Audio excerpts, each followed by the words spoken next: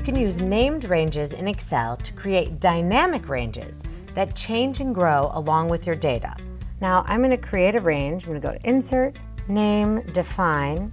So I'm going to call it SP. I'm going to use a formula here, offset. I'm going to start my range at B3 and I'm going to offset it by zero rows, zero columns. The number of rows that I want in my range is gonna depend on how many data points I have. So I'm gonna do count and I'm gonna select where my data is all the way down to the bottom. So that way as I add more, they'll be counted.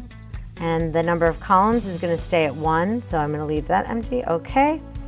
Add that. Now if I click on this and then click this little toggle button here, you can see that the dynamic range is highlighted and you can see that it stops right where my data stops. Now I'm going to do the same thing for my dates.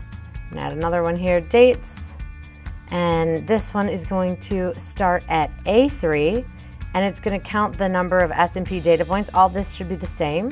So I'm going to add that. Okay, now I'm going to add a chart based on this data. My Y values, we have to type in the sheet name, one exclamation point, and then the name of your data range, which is SP. And my X-axis labels, I want it to be in my date, so it's sheet one exclamation point, and then dates. I hit OK, I'm just going to add S&P data one at a time here, and you can see that my chart is automatically updating because the range that the chart is tied to is automatically expanding. Don't forget to subscribe for more Excel tips and tricks.